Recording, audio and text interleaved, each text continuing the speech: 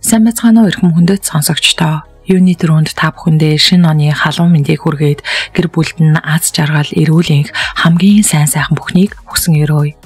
Ингээд бүргийн алтан туул зохиолчин дараагийн нэгэн сайхан зохиол болох сайхан хүмүүс хэмээх туужийг оруулж байна. Хүлээн авна уу? Зохиолыг бичсэн Пүрвийн алтан туул. Зохиолыг уншсан Туул Сэнди. Сайхан хүмүүс. Нэгдүгээр хэсэг. Хулган жилийн өвөл Үнэр хааных цаст цамб гарав хайрхны баруун суганд өвөлжөж байлаа. Хулган жилийн тэр өвөл хаан тэнгэр тэр чихтэй цас болон газарт буух их цас нь нэвсийн дарахад нэгдлийн 500 хон маллаж би Үнэр хаан Жамаал хоёр ихэд хизүүдэн сандарч байлаа.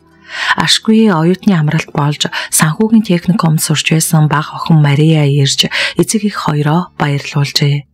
Баг охин Мария ирж малын захад гүйж эцэг ихтэй нэмэр болж хит хонож байтал өнөр хааны өвлжөөг чиглэсэн нэгэн машин өөд газар хит хідэн удаа зогсон байж ирсэн нь тусламжийн өвс хүргэж аймгаас яваа төлөөлөгч нар айжээ. Өнөр хаан Жамал хоёрыг баярлуулсан бас нэг зүйл нь аймгийн театрт дуучнаар ажилладаг том охин Гүлсараан тэдэнтэй хамт ирсэн явдал байлаа. Гүлсараа бол дүрлийгсэн том алаг нүдэ бүрхэн буусан урт хар сармуусан дэрвэлзэж хасын цагаан царайг нь чимгэлсэн нарийнхан бэлхүүстэрээ гунхалзан алхдаг өндөөр гуайлаг нуруутай хөдөө нутагт ховорхон тохиох сайхан мөсгөөчүүдийн нэгэн билээ. Чиргүүлтэй хоёр зээл 130 машин дүүрэн өвс ирсэн нь Үнэр хаанд тэнгэрийн хишиг буух шиг баяр хөөр авчрав аймгийн ихэнх сумдаар 100 ихтэй байгаа болохоор та хоёртаа маш их санаа зовж байлаа. Гэтэл ашгүй Мария ирчгэж манаахан зудтаа сумдын малчтад туслахаар таарсан. Би бүр гойж ойж гэртээ ирлээ. Ингээд гүлсараа баяртайгаар инээн гой гэлгар чимдаанаа онгойлгон аавда авчирсан ганшил архиа гарган хоёр гардаж барихад өнөр хаан чихтэйхэн баярлан авч хөөхөд өсөх сайхан юм аа. Ингээд охиныхоо хишгийг хүртдэг боллоо шүү. Мария яахав? Жаахан хөөхөд Харин гулсараагаа сайн айлын бэр болгоно. Аллах надад хүү өгсөнгүй. Сайхан эр хүнтэй огтоо хуримлуулж тэднээс төрсэн анхны зэхүүгээ өөр юм болгож авна химэн урдын адил хөөрн ярьсан үнэр хаан архинаас хундаглаж аллах тэнгэртэй өргөөд өөртөөхийн 3 удаа татаж сайхан улаан зэрд болж суутал хонь хургалах чимээ гарахад тэрбээр хурганы ууч шүүрэн гарахад салхи хэсгэрж газар тэнгэр нийлсэн цагаан хуй манарч байлаа. Зоотехникч Кумарбекийн шин санаачлах болох илүү нугламтай хар хүзүүд хоньноос ихэр хураг гарчсан бээрэг шахан байхад нь шүүрэн авч уутандаа хийгээд илүү гэрлүүгээ тэрэн алхав. Өнөр хааныг ихэр хургаа дулаан гэрт хийжгээд гэртээ орж ирэхэд гэргий жамаал нь охиныхоо авчирч өгсөн ирээ мэрэн хувцс өмсч хөхрөлдөөд оогт таасангүй. Илүү нугламд хар хүзүүтүүдээ нэг нь ихрэлж гисэн байна.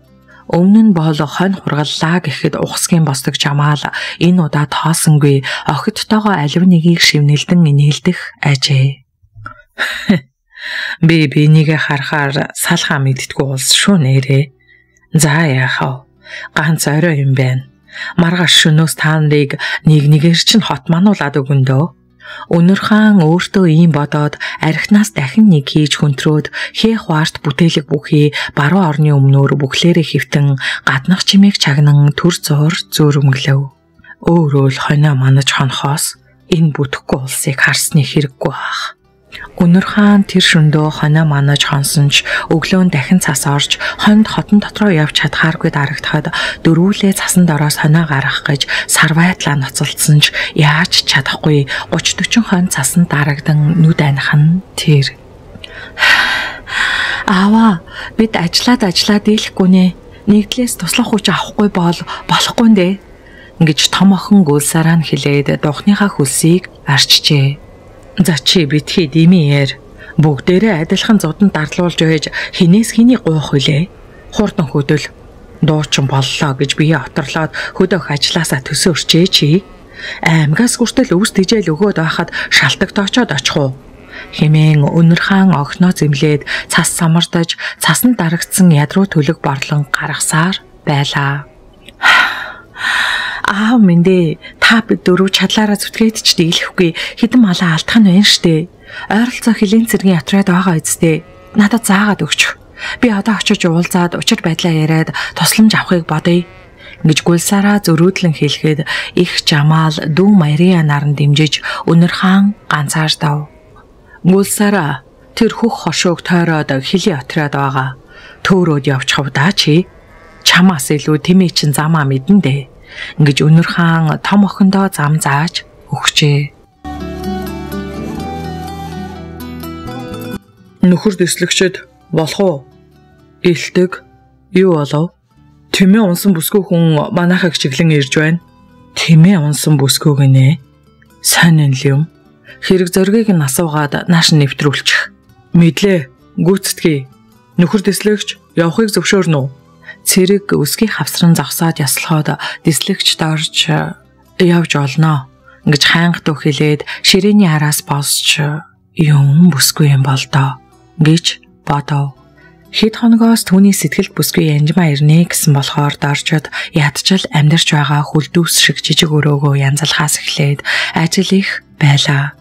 Доржиг эхлийн харуулд гарах байлдагчийн хуваар хийж байтал хаалга тогшох шиг болсноо хин нэгний үүдний давжаанд гутлын цасан унган дэвслэх чимээ гарав. Өөр хэн байх вүлээ дээ. Нөгөө тэмээтэй ирж байсан бүсгүй байгаа биз? Энэ нутгийн казак цөөн тооны уран хаягтай нэг биз? залуу царайлаг сайхан бүсгүй байгаасай ингэж бодсон дорж өөрийгөө шоолж нэмсэглээд за химэн чанга дуграад өөдрөө харав Монгол маягийн хурган дотортой торгон дээл өмсч гуайлаг бие галбраа зариуд харуулах гэсэн айтай жавхайтар шар дурдангаар орон бүсэлсэн том үнгэн малгайгаар нүрээ тэр чигтэн даран өмссөн хөнгөн алхаата бүсгүй бөөн цангийн хамт орж ирэх нь залуу хүнийг илтгэн Сайн байна уу та? Халахаар цэвэрхэн мэндэлсэн бүсгүйг том үнгэн малгайгаа авахад малгаанд ороос тис нутагт ургадаг удуул цэцэг шиг сайхан бүсгүй нэмсгэлэн гарч ирэхэд дислэгч доржийн зүрхээр часхийн хатгуулж цасан дарагдаж ил хул болсон энэ нутагт нар мэлтэсхийн мандах шиг болов.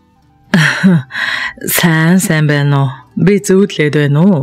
Эсвэл зүвдэндээ ч гэсэн учрах юмсан гэж хүсч байсан сайхан бүсгүй өмнө минь зогсож байна уу? Дорж ихэд хөгжилтөө хошигнон хилээд бүсгүй рүү гараа сонгоход бүсгүй хөгжилтөө инээн түүний гарыг атгааж таны урмыг хугалахгүй юмсан гэж хичээж байна. Намайг Гулсараа гэдэг Баян үлгийн аймгийн хөгжим драмын театрын дуучин. Дорж баярлсандаа тажигнтал хөхөрч За, их сонирн байна. Аймгийн театрын дуучин бүсгүй тэмээ унчхаад мэлтийсэн цастаа талыг туулж явдаг. Үнэмшихэд бэрхтэй юм. Гэхдээ хэлийн дугаар заставын дарга дэслэгч дорж танд үйлчлэхэд бэлэн байна. Химээгээд баруун гараа шанаан тус газраа аваачин ёслов. Баярлалаа дэслэгчээ. Ирэх замдаа чамгүй daарлаа. Сууж болох уу? Гүлсараа хөвгөлтөө инэн хэлгээд дорж сандарч үгүй бололгүй яах вэ? Та суугаач гээд гар дэлгэн ураад үйлчлэгч зэрэг дуудан цай хоол авчрахыг тушаав. Гүлсараа огт нэрлэгсэн байдалгүй харцаа ойчлон ууж адууны махта цавингаас баг зэрэг идэхэд доорч урамшин нэмсэглээд за тэгээд хонгор бүсгүй минь ямар хэрэгээр явна би өчигдөр аавандаа ирсэн юм аа аймгийн хэмжээгээр ихэнх нэгдлүүд зодтой байгаа болохоор манай байгууллага зодтой нутгийн малчтай туслах гэж төр завсарлсан. Тэгээд хүн бүл муутай аавындаа гуйж байж арай хийн ирсэн. Аав ээж хоёр маань нэгдлийн 500 хон малалдгийн оюутны амралт олж хотоос оюутан дүү маань ирсэн ч бид дөрвөлээ нийлээд цасан доороос малаа гаргаж хүч хүрдэггүй.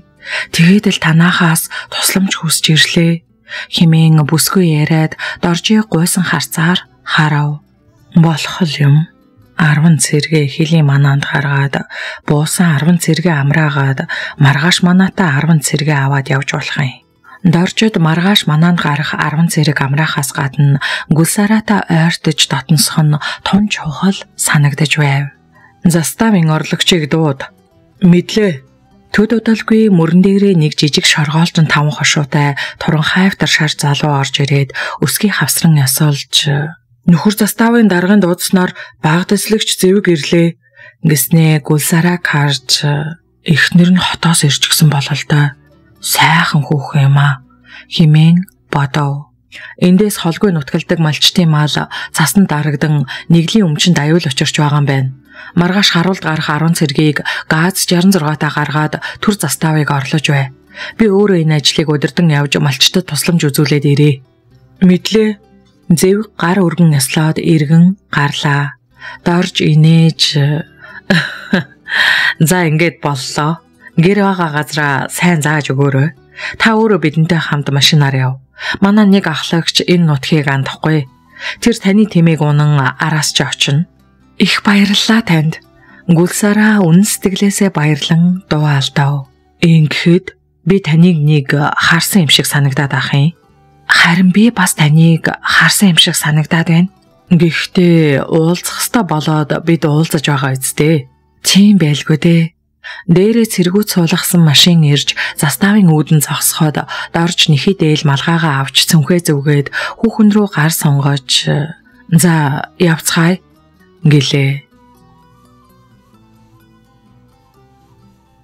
Охныхоо араас өнөр хаан ихэд санаа зовж хойд уул өдөө авирч хараад дурансанд мэлтийсэн цагаан талд тэмээтэй хүний явх харагдсангүй өөрсдөө хийхийн оронд бэлэн им харж хүүхэд хол явуулсан их нэртэй уурн хурж түүнийг загнахаар гэрлүүгээ яран эргэв. Өө охин харагдана уу?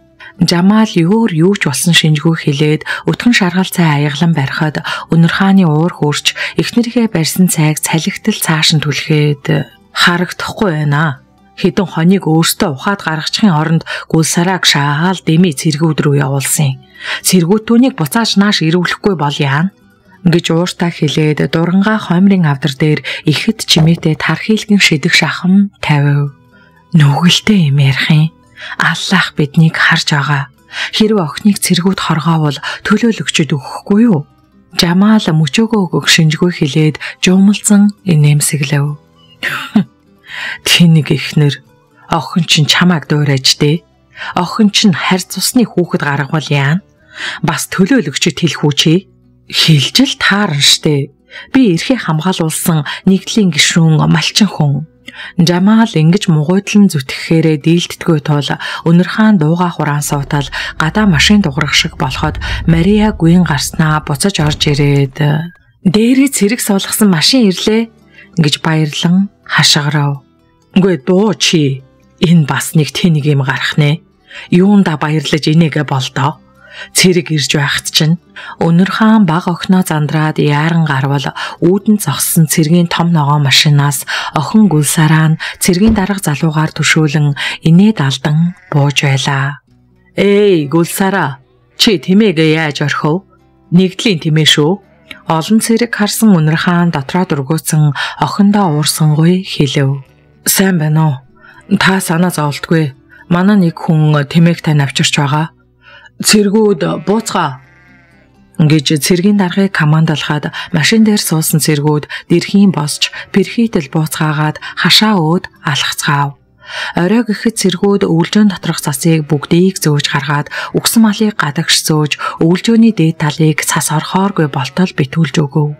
Дараа нь өвлжөөний үүд хажуугийн цасыг цэвэрлэж дуусгаад Жамаал адууны мах чанаж цэргүүдийг дайлжээ. За тэгээд сайхан танилцлаа. Хэрэг гарвал шууд хэлж байгаарэ. Дорч дислэгч тэгш цагаан шүд ярилцуулан инээсээр гүлсарагийн гарыг чанга атгажээ. Ингэхэд манай застав дээр зохиогддог үдшилтэд очиж сайхан дуулж өгөөч. Таныг урьж байна. Химэн дорж гуйсан өнгөөр хэлэхэд гүлсараа толгойд охин инээсээр үлджээ. Цас үргэлжлэн орж бог бэлчээрт гарч чадхаа болов. Нэгэн орой сагсаа сумын урд нутгаар нутгалдаг өсөрбэг гихч алхах бүртээ амсгаацсан тарган ир баахан торог дурдан амтад чихэр жимс дүүрэн богц шуудата юм хоёр морин тэгнэн ашсаар өнөр хааныг иржээ. Өнөр хаан өсөрбэг хоёр бие биенээ сайн мэдэхгүйж нутгийн хамгийн том баячуудын тоонд ордог Шинжаан өрөмч рүү сэмхэн хил давж эртний эдэллийн 8 хийдэг баруун тишээ Алтай таван богдыг давж зөвлөлт холбоот улсын Алтайский район руу чөлөөтэй зорч очдог их гарын наймаач Өсөрбэгийг танихгүй хин байх билээ. Өсөрбекийг өнөр хаан ихэд найр тавин угтаж, кас чанаж, орс архис өгнөж, гараа гарган дайлсаар угтжээ. Өнөр хааны баг охин Мария Улаанбаатар хот руу буцсан тул том охин Гүлсараа ээж аав хоёртоо туслан гэртээ байсан нь Өсөрбекэд бүр их завшаан болжээ. Өсөрбек Гүлсарааг харан том махлаг биеэ займчуулан суудал засч нүд ирмэн үе үе инээд алдах ажээ. Гүлсараа анхлан Өсөрбекийг аавын танил хэмээн хүндэлж байв. Харин Өсөрбекийн хол замыг туулан Өнөр хааныхыг зарин ирсэн гол зорилго нь Алтан гургалтай гэж Өлгийн хотод алдаршсан дуучин үзэсгэлэнтэй бүсгүйг өөрийн болгоно гэж андгаа тавин ирсэн байлаа. Өнөр хаан Жамал хоёр нэр хүндтэй зочноод айлан хөл алдаж байх үес өвлжөөний арын жалгаанд машин дуграх сонсогдож шар шувуу гурвантаа дуграхад гулсараа альчуураа шүүрэн гарахыг тэдний хинж анзаарсангүй. Гулсараа гэж алга руу гүйн ирэхэд дислэгч дорж машиныхаа гэрлийг асааж унтраан гурвантаа дохоо өгөв. Тэрээр инээд алдангүй очиход дорж машины хаалгыг онгойлгон машинд татан оруулаад тэрэн авч уруул дээр нь уттал озон үнсгэд хүүхэн татгалцсангүй. Чи машин барьдаг юм уу? Ганцаараа явам уу? Хилчин хүнд хийж чадахгүй ажил байхгүй шүү дээ. Чамтай уулзахын тулд ганцаараа явах нь дээр үсттэй. Цэргийнхээ хажууд хүүхэн тэрврээд суултаа нүш Ингэсэн дорж гинт гунигтай болж хүүхний гойлог цагаан хуруудыг атхан бодолд автан суув. Ингэж явааг тань ихнэр чинь мэдвэл хэцүү юм болох байх та. Гунигтай дуугаар ингэж хэлсэн гүлсараа доржийг ихнэртэй өгөөг мэдих санаатай хэлсэн ажээ. Угонч нэг хүүхэн байгаа л да. Чам шиг сайхан бүсгүй. Эмч хүн. Би түүндээ хайртай. Даанч түүнд миний ажил таалагддаггүй одоо ч хоёр тийшээ болж байгаа шиг байна. Ингэж хэлсэн дорж нэрээ янжмаа бид хоёр таарахгүй дээ гэж бодов. Тэгээд та ажлаа сонгож байгаа хэрэг үү? Тийм ээ. Би тушаал хүлээсэн цэрэг хүн штэ. Дорж гулсарааг тэрвэрч илгэндээ наагаад хэлэхэд хүүхний дотоороо нар мандах шиг болж ихэд баяртайгаар инээж байлаа. Ингээд чиний нөхөр хаана байдгийг Гүлсарааг сайхан төрсөн бүсгүй хүнээ зовлон тойроогүй учраа доржийн асуултанд хариулахын оронд хөнгөн шүүрс алдав. За тийм дээ. Энэ сайхан хүүхэн нөхөргүй байна гэж юу байх вүлээ? Дорж хүүхний байдлаас гадарлан бодоод харамсангүй санаа алдав. Би нөхөргүй Москвад театр урлагийн дээд сургуулийн дуулаачийн анги төгсөөд ирснээс хойш театрын дарга, найруулагч, аймгийн намын хорооны томоохон дарга нарын нүдэнд өртөж зовжол явандаа. Тэд надаас нэг л зүйлийг хүсдэг. Энэ нь намайг ирчүүдийг үзен ядахад хүргэдгийн. Үннийг хэлэхэд чийч гисэн надаас түүнийг хүсэж байна уу? гисэн гүлсараагийн нүдэнд омдлын оч гэлсгийгээд өнгөрөхөд дорж ирэхэд өрөвдөн тэрч аваад Яала гэжтэйг улсараа минь. Би чамайг чин үнэнчээр хайрламаар байна.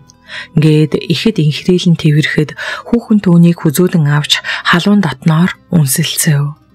За, ингээд чи минь ордоо. Аав ээж чинь гайхаж байгаа бах. Маргааш застав дээр үжлэхтэй. Чи очиж дуулж хідэн бор цэргийг минь хөгжөөж өгөөч. Тэгээл дээ. Чи ирж авах юм уу? Би жолооч явуулнаа Харин чи үжлэгийн дараа манад хонон шүү. Дорж учирлан хилээд гүлсараагийн хамрыг чимхэх дөр үзүүлээд инээмсэглэв. Тохирлоо. Тэртээд цайвалзах цагаан оддыг харсан хоёр зэрэг санаа алдснаа анзаарч хоёул хэрэгүү цагаанаар хөхрөлдөөд хүүхэн машинаас бууж жалга уруудан гүйхэд дорж машины гэрлийг асаан замыг нь гэрэлдүүлж өгөв. Дараа нь машин асч хоёр гэрлээ тохилцуулсаар харанхуйг цуучин цагаан тоос татуулсаар давхин одов.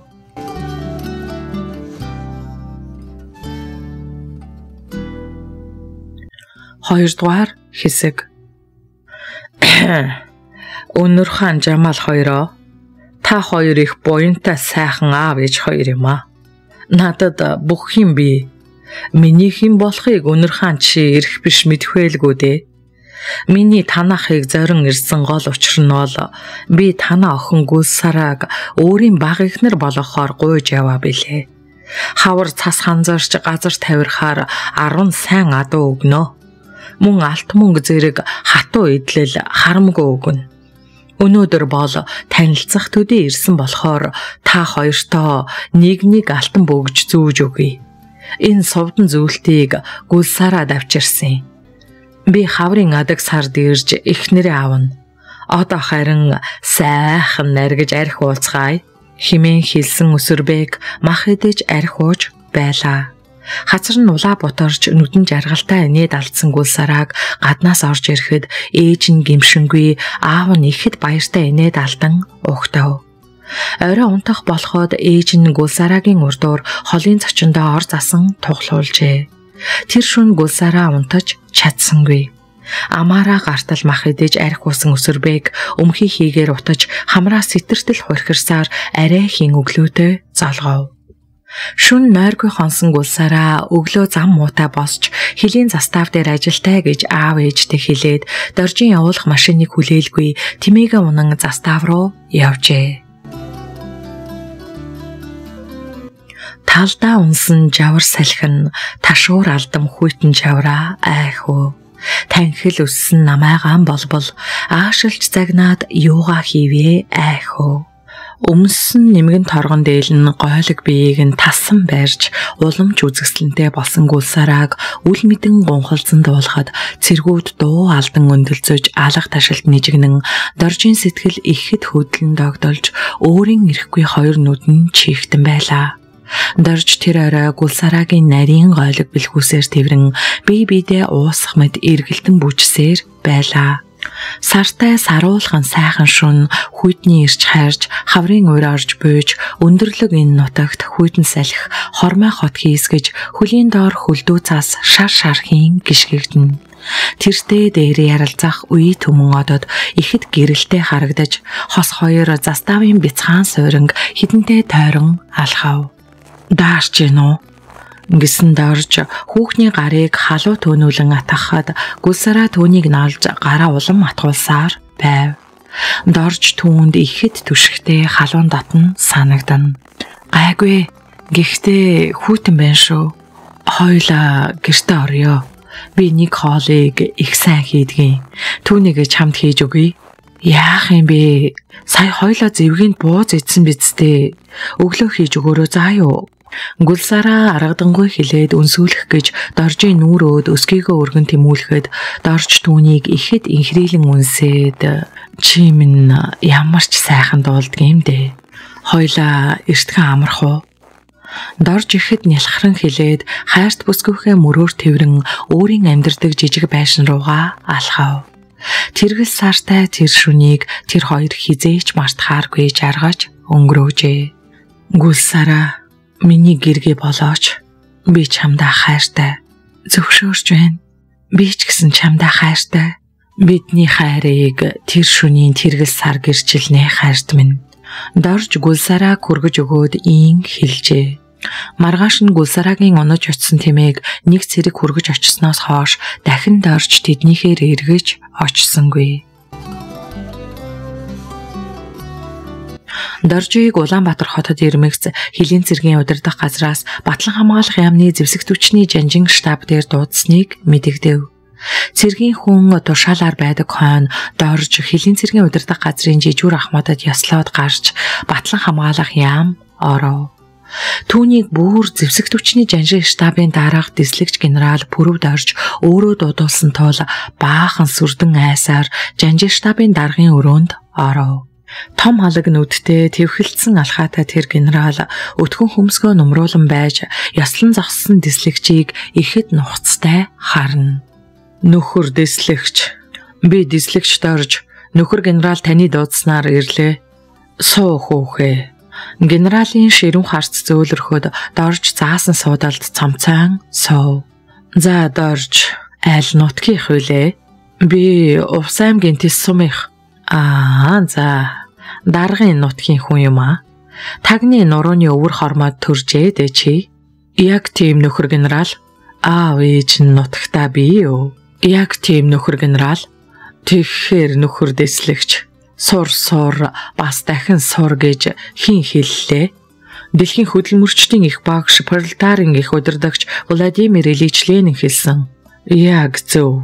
Дэслэгч та ажлаа хүлээл гэж өгөөд зөвлөлт холбоот улсад ахлах офицерын бэлтгэлт курст нэг жил сурах нь дээ. Бүгд найрамдах Монгол ард улсын төлөө зүтгэе. Танд нэг сарын хугацаа өгье. Очиж ажлаа хүлээл гэж өгөөд ир. Удирдамжийг хуранд Абьянбачавт өгсөн. Мэдлээ. Нөхөр генерал явахыг зөвшөөрнө үү? Явж болно. Мэдлээ гүйцэтгэе. Дорж генералийн өмнө яслаад гарч ирээд духныхаа хөлсийг арчав. Сургуульд сурах сайханч саяхан учирсан гулсраагаа орхиод явна гэхээс гуниг төрнө. Гисэн ч тушаал бол тушаал хойно яалтай билээ. Ямар ч гэсэн хотод ирснийх Янжмагийнхаар орхоор шийдэж оюутны нэг жилийг хамтдаа өнгөрөөсөн 40 мянгатын 40-р байрны 1-р орцоор орж танил болсон хаалга тогшов. Хаалга торхийн тэр дорхноо онгойж гэрийн нэмгэн өмсгөлтөө Янжмаа хаалган дээр зогсож байв. Сайн байна уу Янжмаа? Сайн сайн байна уу Доржоо?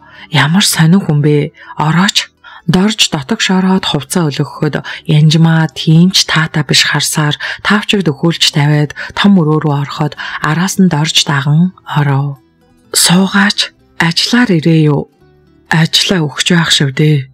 Өө тийм үү? Армас халагдаа юу? Бараг л гэхдээ энэ удаа ахлах офицерын курст явахаар болсон. Өө тийм үү? Болж л юм штэ. Би ажлаас дөнгөж цаа орж ирээд байж байна. Найз нь хоол хийгээд орхий. Янжмаа гинт саймшран хилээд доржийн уруул дээр үнсээд галтгооны өрөө рүү явахыг залуу таагүй харснаа. Хэрэггүй янжмаа. Би хоол идчихсэн. Үгүй ядаж цай уудах уу? Зүгээрээ чи тэгээд хизээ ирэх юм? Бүр ирсэн юм уу? Очиж ажиллаа хүлээл гэж өгнө. Тэгээд гэрэлчгээд явна да. Гэрэлхээ? Тийм ээ гэрлэн чи зөв сонслоо. Өө за за. Чи энийг хэлэх гэж манахаар ирээ юу? Миний янзыг үзэж гайхуулж байгаа юм биз дээ. Гайхуулах гэсэн юм шээ. Үннээ л хэлэх гэсэн. Чи үннийг мэдэх хэрэгтэй биз дээ. Хөдөөний хүүхэнтэй суугаа юу? Тийм ээ. Надад тохирох юм шиг байна. Тийм байх л да. За баяртай. Би амьдрах хэрэгтэй байна. Янжмаа арайхийн хэлж доржийг гаргахын мөн болоод доржийг гармагц орон дээрээ тэгнэж унаад мэгшин уйлав. Харин Янжмаатай ханлан сууж чадахгүй гэдгээ шууд хэлсэн дорж сэтгэл амс хийж хилийн цэргийн удирдах газар очивол түүний тушаал гарсан байхаагаад баян үлгийн хилийн цэргийн анги руу хангалттай машин явах гэж байсан тул ихэд баярлан түүнд орж суув. Цэрэг жолоочийг гуйж байж ихтэлгүүрээр орж гүлсараад хүүхнүүдийн нүднийг юм болсон өндөр өсгийд аимсан дүрээтэй гутал авч хээрийн замд гарчээ. 2000 гаруй километрийг туулах гэж бараг хагас сар гаруй явсаар доржин ажиллаж байсан хилийн заставт хамгийн сүүлд очиж зогсжээ. Заставын орлогч баг дэслэгч зэвэг дэслэгч цол авч заставын дарга болж доржоос ажил хүлээн авлаа. За дорж минь баяр хүргэе. Миний найз ч байн хошуулж үргэлж удирдахч байх хэвээр хүн юм аа да. Нэгэнт ажиллаа өгснийх хэд хоног амраад явах юм байгаа үсттэй гэж зэвэг ихэд найр тавин хэлэхэд дорж инээж Генерал надад ганц сарын хугацаа өгсөн. Ирэх замдаа талыг нь дуусглаа. Одоо зүрх сэтгэлийн ачааллаа зохицуулах хэрэгтэй байна. Чи надад машина өгөөч хөө гэж дорж үннээ хэлэв. Хөөш золиг минь Чи арай нөгөө гой казак хүүхэнтэйгээ суух гээд байгаа юм үү? Өөр хэм байх вэ тэхөө? За мэдэхгүй юм да. Энэ нутгийн казакууд монгол хүнтэй охиноо суулгах их дургуул байдгийн гисэн. Бүтх болов да. Янжмаа дагаал суучгаач тэхөө. Зэвэг анд нөхрөө ятгаад дийлсэнгүй. Ямар ч байсан би гулсраат уулзах хэвээр Дорж өөрийнхөө бодлыг өөрчлөхгүй тул зэвийг заставын ганц чөдрийн унаа болсон ГАЗ 66 машиныхаа дэлгүүрийг сарвайхад дорж шүүрч аваад гарч машиныг асаагаад давхин одов. Доржийг тэмдэгт газраа очин сигналаа хідэнтэй дуургахад тэр дорхноо хөнгөн хөлийн чимээ гарч гулсараа гүйж ирэв. Түүний сайхан нүдэнд гуниг хуралдаж царай даран бүрсийсэн харагдана. Дорж түүний дорой байдлыг харж өгдөөгүй тэрэн авч цээжиндээ тэрээд инхрийлэн үнсгэд хүүхний нүүр дорхноо шал нойтон болж мэгшээд чи яагаад алга болчихвоо? Би чамайг дахиж ирэхгүй байх гэж бодсон. Яг бусад ирчүүчиг Гээд улам ихэр татав. Яала гэж дээ. Би чамдаа хайртай шүү дээ гүлсараа минь. Цэргийн хүний амьдрал ийм хэцүү байдгийм да. Гэж дуу алдсан дорж болсон явдлыг тайлбарлан ярихад гүлсараа бүр гунигт автах нь тэр чамайг яваад өгөхөөр би яанда чи бид хоёрыг эргэж уулзаж чадах болов ганцхан жирштэй хөө. Намайг хүлээж бай тийхөө хүлээхгүйгээд яах вэ дээ? Би жирэмсэн. Чиний хүүхдийг тээж байгаа дорж үг дуурч чадсангүй ихэд уярч түүнийг тэрэн зөөлөн мэгшэв. Гүлсараа чамда баярлалаа. Би чамд маш их хайртай. Тэр хоёр шүнжин ярилцаад маргааш өглөө гүлсараа дорчтой хамт буцаж баян үлгээ явах болов. Түүний ажилдаа орох цаг болсон байлаа. Баян үлгээд тэд хамтдаа 7 хоногийг ихэд жаргалтай өнгөрүүлв. Монгол ардын дууг гулсараа маш гоё дуулдгийг дорж тэгтэл мэдэрчээ. Малчтын баяр өнгөрч Казак түмний Навризийн баяр болох гэж байгааг угтсан концерт найруулагдан тавигдах байсан тул гоцлол дуучин гулсараа бэлтгэлгүй шууд концертод оролцжээ. Тэр тоглолтыг үзгээр шийдсэн дорж хот руу нисэх онгоцны билетээ хоошлуулан байж хайртынхаа концертыг үзэв. Халах үндэстний гоёмсог дээлөмссөн гүлсарааг тайзнаа гарч ирэхэд үндэсний дагшаа найрал хөгжим ихшиглэв.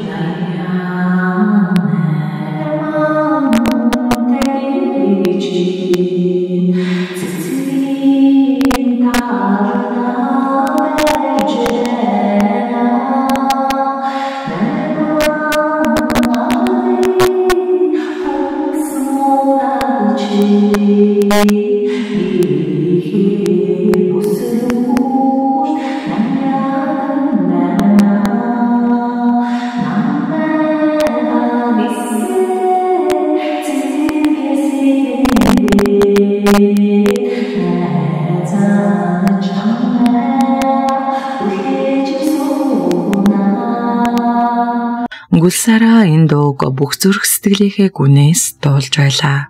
Тэр өөрийгөө цэрэг иргийн гэргий гэж бодож байв. Гүлсарагийн энэ дуулсныг дорж зүрх сэтгэлийнхээ гүнээс хүлээн авч байв. Тэр хоёр дахин нэгэн шүнийг хамт өнгөрөөгөөд тоот хоногийн хугацаа болсон тул маргааш нь дорж хот руу буцхаас өөр арга байсангүй. Ийхүү салж ядан хоёр тийш зүгэлсэн тэр өглөө нар цацран гийсэн дэндүү сайхан өдөр болж байв. Онгоц өндрөө хаван дээш хөөрхөд нүд дүүрэн нулимстай гулсараа гар өргөн талалсаар удтал зогсов. Тэнгэрийн хөвөн цагаан үлсийн дундуур цуучин одох тэр онгоц түүний зүрх сэтгэлийн талыг аваад явчих шиг сэтгэлд гуник хургах ажээ.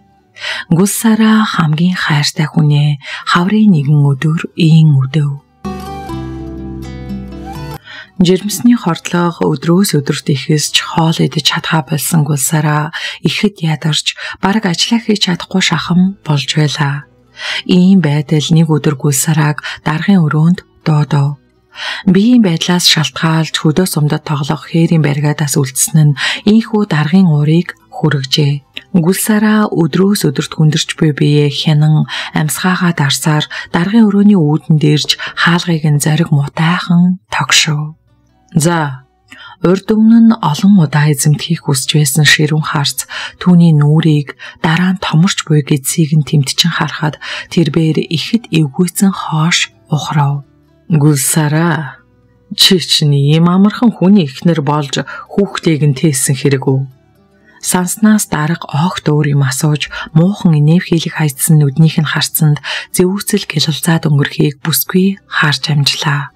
Тэгээд чиний нөхөр хин? Миний нөхөр дорж Москвад ахлах офицерын курс суралцахаар явсан. Мөө тэр ир чинь хүүхдээ чи эцэг үү? Тийм ээ. За за ойлгомжтой. Дарга махлах хуруунуудаа нүжгэнтэл нь хооронд нь дуурган атгалаад тэгэхээр гүлсараа Чи гэр бүлийн талаар тогтооргүй хүн юм. Би чамайг арай ч юм ялзарсан үзэл бодолтой завхаа юм гэж бодсонгүй. Зөвлөлт холбоот улсад суралцаж мэрэгжлийн урлагийн дээд боловсрал эзэмшсэн авиаслаг уран бүтээлч, дуучин бас дээр нь үзэгсэлэнтэй сайхан бүсгүй гэж бодож байлаа. Гэтэл ир нөхрөө эзгүүчилж өөр эртээ нөхцөж жирэмсэн болжээ. ийм ясгүй хүнийг би цаашид ажилуулж чадахгүй. Нэгэнт улсын хуулийн заасан эрхчэнд байгаа болохоор яа гэхв? Чиний зол. Төрхийн өмнөх болон дараах тэтгэлгээ аваад манай байгууллагаас зайлн үз. Дарга дууныхаа өнгийг өөрчлөлгүй ширүүн хилээд өөр яриа байхгүйг ойлгуулж гараа өргөн өөдрөө зангав. Дарга би таны хэлснийг өөр ойлгосонгүй. Би бүгд найрамдах Монгол ард улсын иргэн хүн ямар шашин шүтэх, ямар хүнтэй гэрлэх, хідэн хүүхэд төрүүлэх нь миний эрх баймарын. Гүлсараа ихэд хигжүүрхэн хэлээд өөдрөө явлаа. Гүлсараа чи надад наад үгэ хэлээд яах вэ дээ?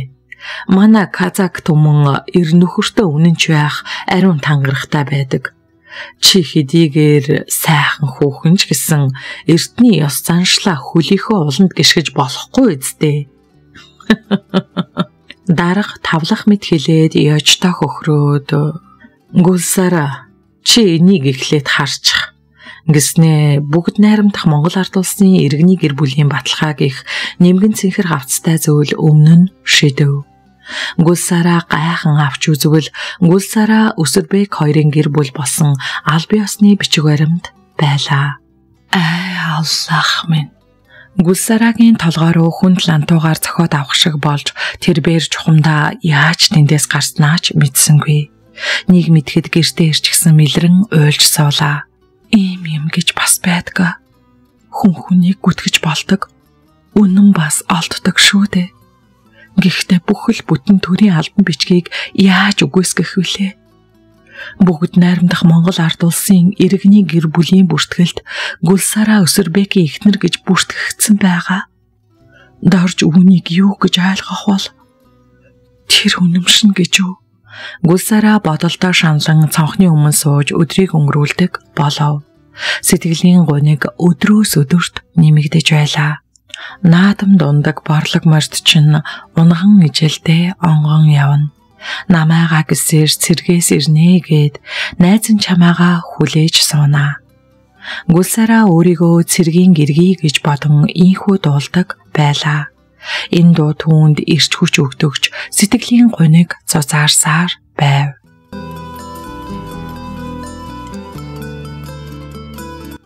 Гуравдугаар хэсэг Өнөр хааных зунийг өнгөрөөхөөр цагаан сайрын доод бийд бууж хүн малын нуруу тинүүн тавлаг сайхан хэд өдрийг өнгөрүүлж байтал нэгэн орой хотны ноход баргуулсан хідэн морьтон тэдний давхин иржээ. Жамаал нохоо хорхоор гартал буун дуу тасгийж нэвсгэр хар хүрм өмсч толгойдоо тоорцог тавьсан залуу ирсэн нэг хоточ нохоог нь буудан унах нь тэр. Аллах минь яадаг вэлээ энэ ширүүн дөрөн улс хинбэ? Жамаал Аллахад залбираад айж үлгэрцнүүдээр ирсэн улсыг харав. Өнөр хаан хаан байна. Нэг л таньдаг дуу шиг санагдахад ахиулан харвал өвлийн тэр нэг шүнийн зочин Өсөрбек морины нуруунд дээрээ ганхан сууж байлаа. Сайн байна уу Өсөрбек? Гэрт орооч. Би чамаас өнөр хаан хаан байна вэ гэж асууж байна. Өсөрбек ташуураа гоцолзуулан Жамалын нүдийг ухчих шахан уурсан зандчаад Жамалаас дутхгүй айж балмагцсан Өнөр хаан гэрээс гарч ирэв. Өсөрбек жижиг гар буу гарган Өнөр хаан руу чиглүүлэхэд Жамал гараа алдлан нөхрөө хаан зогсоод болооч гэж хашгирав. Холдооч муу шулам минь хоёуланг чин буудаад алчхан шүү Өсөрбекийн дуунд маш их занал хорсол буцалж байсан тул Өнөр хаан ихнэрээ татаж гэрлүүгээ түлхээд өөрөө хаалгаа даран зогсов. Хей Өнөр хаан миний ихнэр хаан байна. Өсөрбек ихэд дээрэнгүй асуугаад нүдэ бүлтийлгэн түүнийг ширтэв. Гүлсара аймгийн төвд байгаа. Аймгийн төвд байгаа гинэ. Тийм ээ Тэр өлөгчин аймгийн төвд байгаа нь үнэн. Гэхдээ тэр миний итгэлийг даасангүй. Өөр хүний зол босгот хийсэн. Тийм болохоор чи бас миний итгэл даасангүй. Ихэд дээрэнгүй авирлах өсөрбэг тэднийг басамжлан доромжилж буйг үнэр хаан харж огноо түүнд өгнөө гэсэндээ ихэд харамсан гэрлүүгээ харайн орж өвлийн тэр нэгэн шүн өсөрбэгийн саймшран өгсөн хоёр алтан бөөгж совдон зөвлөлтийг шүүрэн авч буцан гарч ирээд өсөрбэгийн гар дээр тавив. Урдны юм уул болжээ. Охид өөрсдөө мэдих болсон байна. Гүлсараа өөрийн амьдралаа өөрөө мэдэж Ингээд л болоо юу өнөр хаан. За яах вэ? Гүлсараа өлөгчөн өөр хүний хүүхэд төрүүлж гэхдээ тэр насан туршдаа надаас салж чадахгүй. Өнөр хаан чамд бас нэг сайхан охин бий. Түүнийг надад өг. Өсөрбэг би чамд амлаж чадахгүй. Мария охин минь өөрийнхөө амьдралыг өөрөө мэдэг. Энэ мөг цах Хид хідэн ташуур зэрэг зэрэг ялсхийн өнөр хааны толгойд буухад тэрбэр гэрийнхээ үүдэнд өөхөдхийн унав. Танхаа этгээдүүдийн морин төвөргөн холдон одож цэцгийн үнэр анхилмал сайрын талд ёор юуч болоогүй айтай цэнгэг зүүнний орой үргэлжилж байлаа. Жамалын айж харуулсан орилох дууг хинч сонссонгүй. Толгоогоо хэд хэдэн удаа хаах зохиулсан Үнэр хаан дахин өндийх тэнхээ нэгэн талдсан харамсалтай явдал болов. Гисэн ч амьд улс аргатай хойно Жамал Үнэр хаан хоёрын ахан дүүс цугларн ирж маргааш нь хөөрхий эцгийг нутаглуулан эцсийн замд нь үджээ. Бүх ахан дүүс нь энэ буруутай гихшиг гүлсарааг таагүй харцгаана. Харин ихээсээ болсон явдлыг дуулж мэдсэн гулсараа Өсөрбекэд гомдол гарган цагдаа сэргийлэхэд мэдэгдэжээ. Усан бороо үргэлжлэн шаагсан зуны нэгэн өдөр гулсараа өвдөж Жамал сандран сагсаа сумын имлэг бараадав. Шүн нойрон дунд нь хаалга тогшох шиг болох уя заставын дарга зэвэг сэрж цаг харуул дөнгөж шүний 02 цаг болж байлаа. Химбэ? Зэв гайхан чанга дуугаар хашгираад нойрондоо харамсан өөдрөөгээ харав. Би байна. Ядарсан их хүн байна. Юу? Химбэ? Жамаал байна. Юу? Жамаала? Зэвэг ихэд гайхан шөнийн гीचнийг цочтол хашгичсаар өөрийн амьдардаг жижиг өрөөнийхөө хаалхыг нээвэл тохоон ч нээхэн үлгийтэй хүүхэд тэрсэн хижээл насны толгой дээгүүрээ цагаан альчуур нөмөрсөн ихнэр орж ирэхэд айх шиг болсон зэвэг хоош ухарч та юун хүн бэ? Би Жамаал байна. Жамаал гой та надаар яах гэсэн? Яах юу аах вэ? Өнөр хаа минь нас барсан Гүлсараа минь ядарч төрлөө. Аллах биднийг харж байгаач бидэнд чиний хоёр ихэр охиныг тижээх хүч чадал алга. Юу? Юу гүлсараа хоёр ихэр охин бэ? Та хүн андуураад энэ жамаалгүй. Аа, тийм байгаа чи. Зайлтай золиг. Чи гүлсараа бид хоёроос нуугдлаач хов тавлангаасаа нуугдаж чадахгүй. Мэ энэ хүүхдээ авд оржгүй гэж Жамал занд чин хэлээд зэвгийн нүцгэн биеийг ширвэн харж өлгийтэй хүүхдийг гар дээр нь тавив. Игч минь би дорж биш штэ. Надад хамаагүй.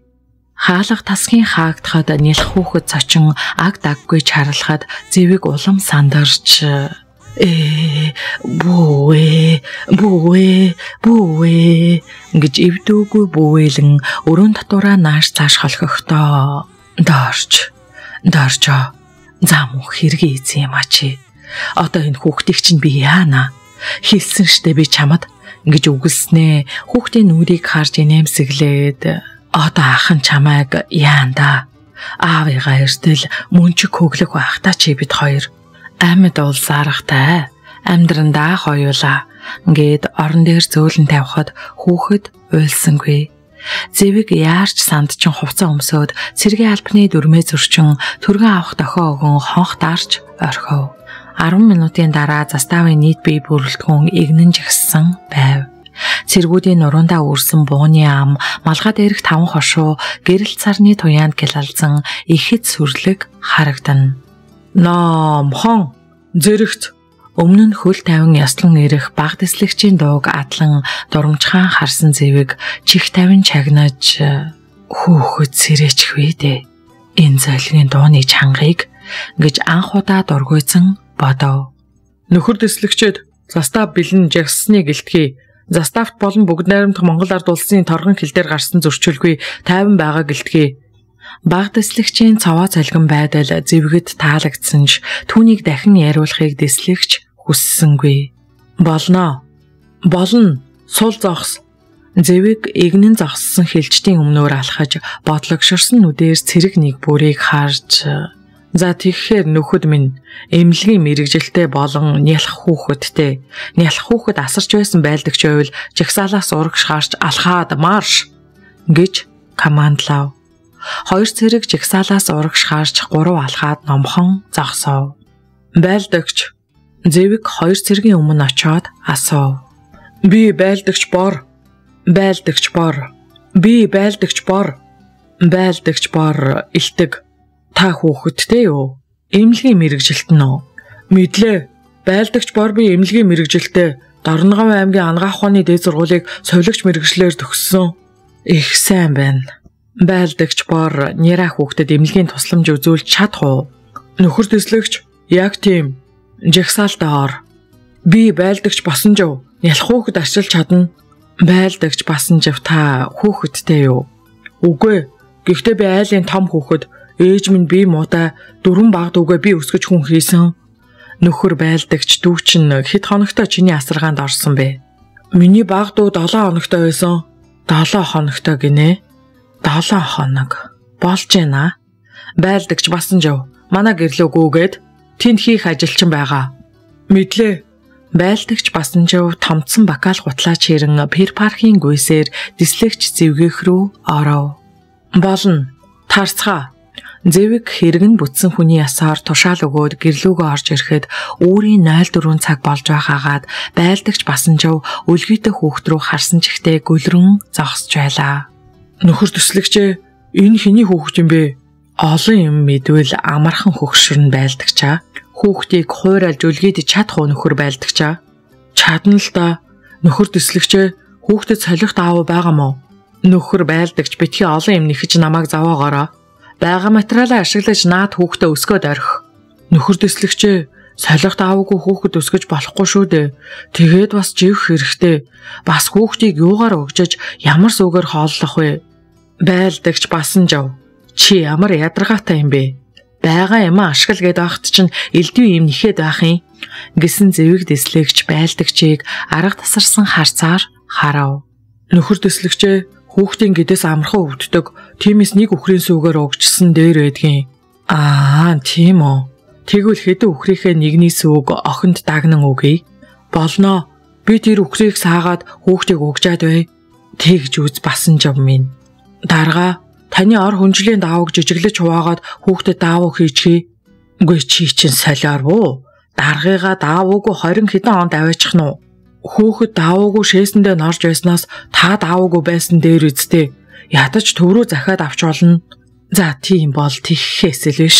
Дарга хүүхэд өгжих уугч хэрэгтэй байна. Би хаанаас олноо? Олохгүй бол дарга хүүхэд харангатна. Номхон Байлдагч басан жав чи яасан муу амтай муухай хөхтэй хүн бэ? Ихэд уур нь хүрсэн дэслэгч зэвэг хангинан команд өгөхөд байлдагч басан жав номхон зогсож хүүхэд цочин уйлав. Зэвэг ихэд айсан нүдээр хүүхдийг харснаа. Тайвшир, тайвшираарай. За унтаарай. Гэхдээ нялх хүүхэд байдгаараа улаан чарлаж гарав. Байлдагч басан жав. Би байлдагч басан жав Баасан жав минь чи наад хүүхдээ тэрвэрээ чимээгүй болгоод намайг амраагаад өгөөч дээ. Нөхөр дэслэгч элтгэхийг зөвшөөрнө үү? Үгүй элтгээчтэй тэгээд гисэн зэвэг хүүхдийг харж хамаг биенийх нь хөлс сутгачхав. Дэслэгчээ би номхон командтай байна штэ. Орхи нөхөр байлдагч хүүхэд ав. Йой. Одоо яана. Басан жав хүүхдийг авч тэрхэд хүүхэд чимээгүй болж хөхөө ирэн уруулаа өмөлзүүлнэ дарга хүүхэд өлссөн байна. Ээж нь хол байгаа мó? Яста бүү мэд басан чаваа. Тэгээд та хаанаас энэ хүүхдийг авсан? Юу хаанаас авсан бэ гэж солиор буу чи өөрөө ирсэн. Хүүхэд үүдээ өөр хэн байх юм бэ? Гайхсан байлагчийн нүд томорч нэл хүүхдийг тэрэн холгосоор үүр цайлгав. Дэслэгч зэвэг орон дээрээ хөвтөөд толгой дээрээ том дээр тавиад нүдэн анин хөвтөөж дорч минь хурдан эргэж ирээрээ.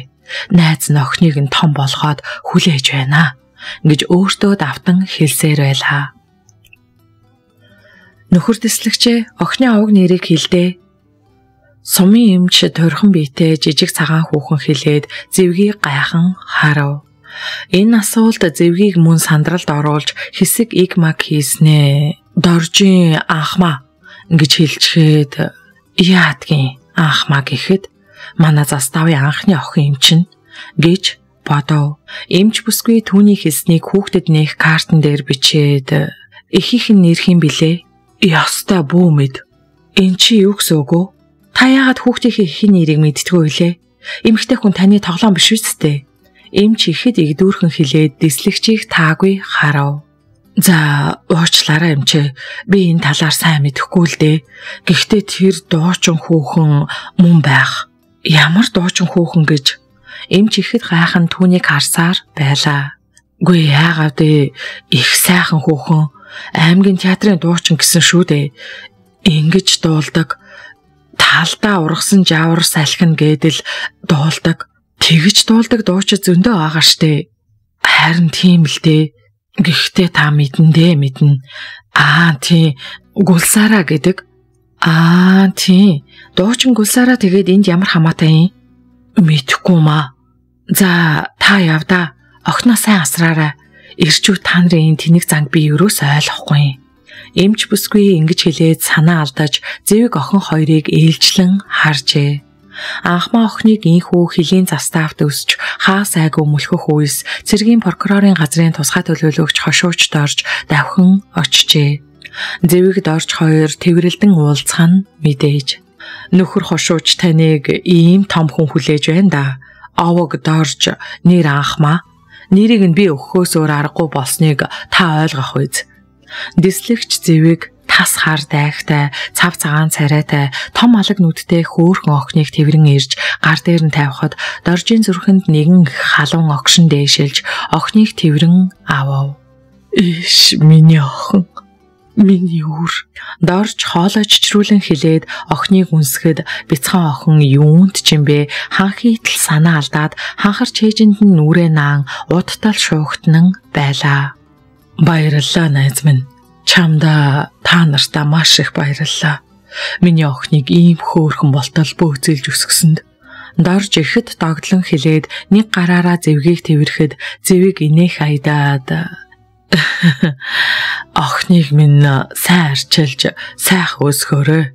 Би ч их санахал байх та гэж гунхран хилээд санаа алдав. Зэвгээ ингэхэд гүлсараа хаан байна. Тэр минь зүгээр байгаа да намайг уучлаарай доржоо. Найзынхан чиний төлөө хийж чадсан юм ердөө л энэ. Чиний хоёр ихэр охиныг гүлсараа төрүүлсэн. Ээж нь нэг шүн анхмаг хүргэж ирсэн. Гүлсарагийн байдал тийм сайн биш байх гэж би бодож байна. За баярлалаа найз минь. Сайн сууж байгаарай. Уцаар ярьж захаа бичиж байна дорж найздаа талархан хэлээд албаны ГАЗ 469 машины хаалга татан орж суув. Охин эцгээ таньж буй бололтой аан уун гэж шулганан хүзүүгээр нь тэрвэрч эцгийн үрийг шүлстэн. Дорж хамгийн түрүүнд Өнөр хааны нутаглаж байсан газар очиж нутгийн айлуудаар орж сургалвал Өнөр хаан нас бараад эхнэр нь Улаанбаатар хот руу нүүсэн гэсэн сураг сонсчээ. Баяуулгын аймгийн төв орж шууд хөгжим драмын театр орж сургалвал Гүлсараа ажлаасаа халагдсан байлаа. Гүлсарагийн амьдарч байсан байшинд очиж хаалгыг нь тогшвол огт танихгүй бүдүүн шар хүүхэн гарч ирээд энд тийм хүн байхгүй гэснээр доржийн бүх ирэл мухардав. Дорж Улаанбаатар хотод ирж шинэ ажилдаа ормогц албан тушаалаа ашиглан улсын бүртгэлийн газраас Өнөр хааны гүлсараа Баяуулгын аймаг Сагсаа сум хэмээн хайсаар сургийг нь гаргав. Өнөр хааны гулсараа 23 настай казак дээд боловсралтай мэрэгжлийн дуулаач Баян Улгийн аймгийн Сагсай суманд төрсөн. Баян Улгийн аймгийн хөгжим драмын театрт дуучин. Нөхөр Бадил хааны Өсөрбек 1984 оны иргэний гэр бүлийн бүртгэлд бүртгэгдсэн байлаа. энэ ч одоо юу вэ? Тэгэхэд өөрөө надад нөхөргөө гэж байсан да. Гэтэл наадтай уулзахаас өмнө нөхөрт гарсан байх юм. Гүлсара худлаа ярих хүн биш. Эртний казакын зэрлэг гэмээр тэнийг яс заншил түүнийг минь хүчээр нөхөрт гаргасан биш байгаа. Гэхдээ Гүлсара хэн билээ? Ирэх чөлөөт эмэгтэй. Бүр Москвад театр урлагийн дээд сургууль төгссөн мэрэгжлийн дуулаач бодит байдал дээр би түүний ариун биеийг хүндсэн эр хүн. Дорж маш олон янзаар бодож үзсэн ч ямар ч шийдэлд хүрч чадсангүй. Нялх үрээ өсгөж хамаг хайр халамжаа ээжигээ өвчсөн мэд дуурайн төрсөн бяцхан охиндоо зориулж байлаа.